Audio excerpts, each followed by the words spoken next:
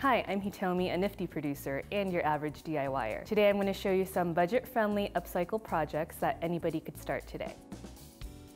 For this project, we're using wine crates, which is super accessible nowadays at every craft store. Sometimes you can find it on the streets. Turning a wine crate into a coffee table is actually a really good fusion of the creativity and being very resourceful. As a Nifty producer, we all strive to make every level of project attainable. By the end of each project, we're that much more knowledgeable on using a certain tool or process that we could carry on to the next one. We decided to use some pegboards as a base. The little holes turn as little guidelines for your legs, and then you don't really have to drill anything directly into the crates, so it's a power tool free project. Clamps are actually a great investment. You need to hold things together, you need to keep things still, it's pretty much another hand that's there to help. Also, you could always add more crates if you're looking for something bigger. This project is super customizable with any wood stain or paint. You can add wheels if you want to, so you could roll it around, and you could pretty much do whatever you want to it to get the look that you want. It's a great feeling after you do a project like this because it makes you feel super accomplished, and it's actually great because you get to see it every day.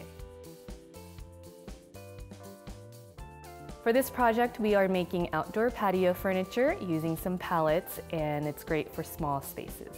Pallets are awesome. They really could become anything you want it to. We used one pallet and turned it into a patio seating area. You could find a pallet almost anywhere. This one I actually found in the back of a flower shop. It's something that anybody could do. We sliced it in half and we made these customized cushions and it pretty much makes your balcony pop. Sometimes when you have balcony space, you're like, what do I do with it? With a pallet, you could turn it into these corner seating areas and it really opens it up. You could enjoy the view you have, you could enjoy the time you spend with friends. It's really nice. Spending time outside is so key and important important in my life. If it's sunny outside, I want to be outside. If it's broken, you could still salvage it and turn it into something that accommodates your needs. I just really needed outdoor furniture, so slicing this bad boy in half, putting a cushion on it, turning it into my own patio seating area is a great project.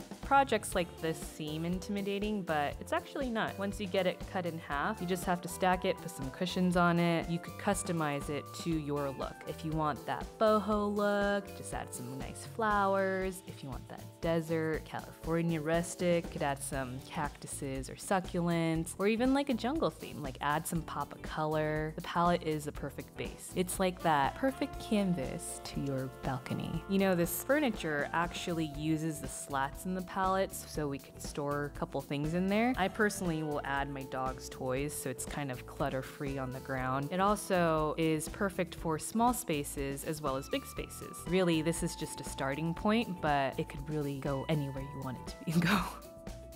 This next example is a popular Nifty project. The producer that made this video literally grabbed tires off the street. This is truly an upcycle project that came together with stuff around the studio. We took a tire, some hot glue, and rope and turned it into some outdoor seating that actually acts as a storage space as well. The storage space is great for any backyard activity. It's a great way actually to hide things. You don't want your backyard being cluttered. I got a lot of my creativity from back in the day when I was a marine mammal trainer. We had to come up with new toys or apparatuses for any projects we were working on, and they don't make commercial sized dolphin toys. So a lot of times we would DIY projects. It was always a challenge, but it worked. As a Nifty producer, we're always trying to stay creative and we feed off of each other. Like sometimes we'll come up with an idea and another producer will help us out, being like, oh, add this to it or take this away. And a lot of our projects, we might might have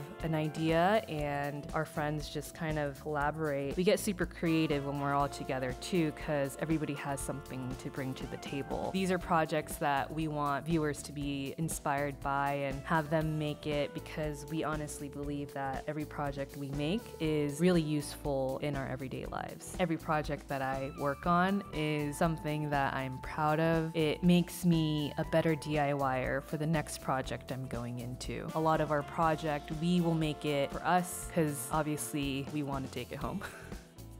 This next project is a great example of a budget-friendly upcycle that I still use to this day. This project was super fun. I love barbecuing and summer's around the corner, so the smell of charcoal just makes me so happy. I was at my mom's house and I found this flower pot in the corner and I was like, what can I do with this? I decided to make a smoker out of these two terracotta pots and I had a little old grill from my college days and so I just took the grate out and it fit perfectly in there so I just had to buy the gasket tape to get that nice seal. This project was assembling two things that you might have or maybe your parents might have. Growing up, my mom's cooked for me all the time and I was very fortunate that she was a grill master. I returned the favor by smoking some meats for her and she really enjoys this. Anytime I come over and we barbecue together, this is one of the projects that she's proud of. Since I took the flower pot from my mom's house, I thought this would be a great gift to return to my mom. Anytime I walk in a store and see something I like, instead of buying it, I try to figure out how I can make it myself. Cause one, I'll save a lot of money, and two, maybe the one at the store won't fit in my house, or I need it a certain way, maybe I don't like the color. And honestly, if I could figure out a way to do it on my own, I think I would take much better care of it as well. Making projects like this is a really good example of something we do on a daily basis, but we get to really enjoy it when it's out of the studio. What nifty projects have you made